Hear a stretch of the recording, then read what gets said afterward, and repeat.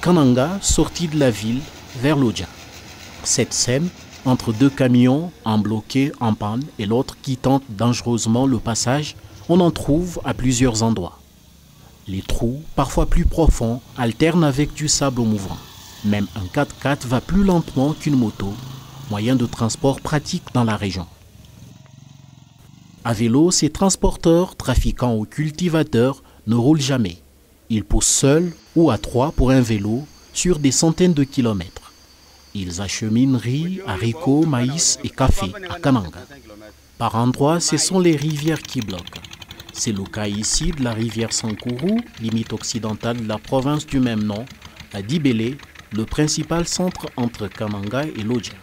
Il faut affronter en plus quelques 7 km à travers une forêt dense, majestueuse.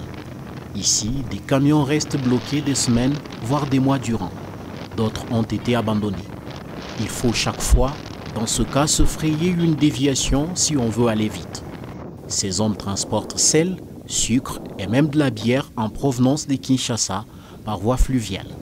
Lorsqu'enfin épuisé on arrive à Lodja, il faut faire face au coût très élevé de nombreux produits amenés des Kinshasa.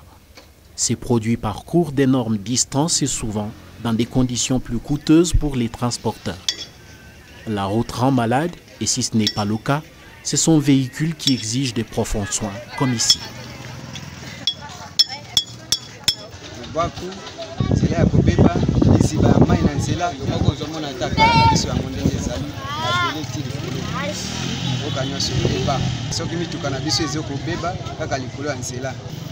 Awa ti libele tolongwaka soki okei bien tosalaka 2 jours 3 jours okomi me mikolo oyo tokomi kosala yango na nzela kaka une semaine deux semaines mpo oya kokoma awa da distance de 150 km Par bonheur, on peut loger dans un bel hôtel à Lodja avec de l'eau courante et chaude et s'offrir des produits de Kinshasa. Heureusement, il faut compter aussi avec des gens déterminés à apporter un peu de sourire aux autres dans une région très enclavée du Congo.